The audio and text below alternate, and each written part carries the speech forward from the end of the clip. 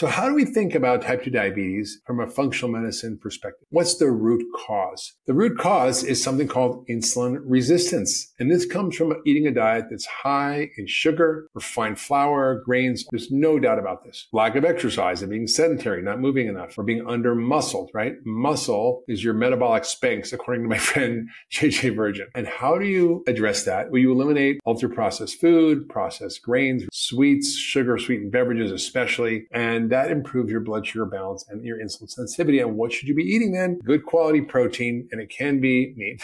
okay.